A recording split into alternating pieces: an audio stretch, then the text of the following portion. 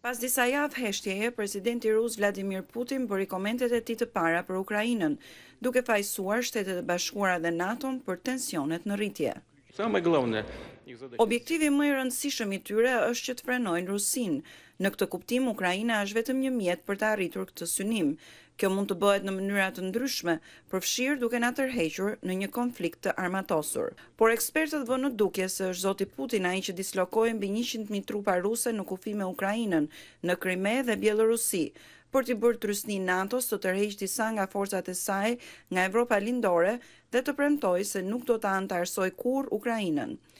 Ish-analisti ushtarak i CIA-s, Jeffrey Edmonds, thotë se me këtë grumbullim ushtarak, zoti Putin e ka vënë veten në një pozitë të vështirë. Kërkesat e tij janë maksimaliste dhe ai e di që Perëndimi nuk mund t'i plotësojë. Ne nuk do ta kthejmë infrastrukturën e NATO-s në nivelet e një mijë e nëntëqind e nëntëdhjetë e shtatës, siç është një nga kërkesat e tyre, kështu që mendoj se ai është në pritje të kushteve të duhura që trupat në kufirin e Ukrainës të ndërmarrin veprime ushtarake. Presidenti Joe Biden thotë se ai dhe zoti Putin e kuptojnë njëri-tjetrin, por zoti Biden ka thënë gjithashtu se beson se presidenti rus po planifikon të pushtojë Ukrainën. Disa ekspertë thonë se zoti Putin kërkon të sigurohet që Rusia të shihet si faktor kryesor në skenën botërore. Ai beson se pjesa tjetër e botës duhet ta trajtojë Rusinë sikur të ishte Bashkimi Sovjetik.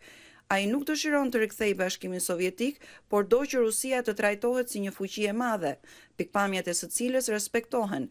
Disa ekspertë thonë se ka të ngjarë që zoti Putin e sheh Ukrainën lindore të përfshirë në konflikt që pas aneksimit të Krimesë në vitin dy mijë e katërmbëdhjetë si pjesë të Rusisë. I think Putin might acknowledge that Western Ukraine. Unë mendoj se zoti Putin mund ta pranojë që Ukraina perëndimore është vërtet ukrainase dhe ndoshta i përket botës kulturore dhe politike evropiane, por në sytë e tij Ukraina lindore është si një lloj vazhdimi i Rusisë.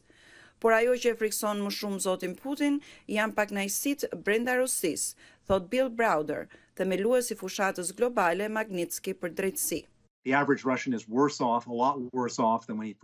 Gjendja e qytetarëve të zakonshëm rusë është shumë më e keqe se sa kur ai u bë president për herë të parë dhe përgjegjësia është e gjitha e tij. Kështu që ai po përdor një strategji të zakonshme për diktatorët, Kur njerëzit zemërohen me ty, drejtoje zemërimin e tyre diku tjetër. fillo një luftë. Gjatë fjalimit të tij të Vitit të Ri drejtuar kombit, zoti Putin nuk i përmendi goditjet e gjera ndaj kritikëve të tij. Kundërshtari i tij më i njohur, Alexei Navalny, u burgos një vit më parë, pasi mbijetoi një përpjekje për ta helmuar.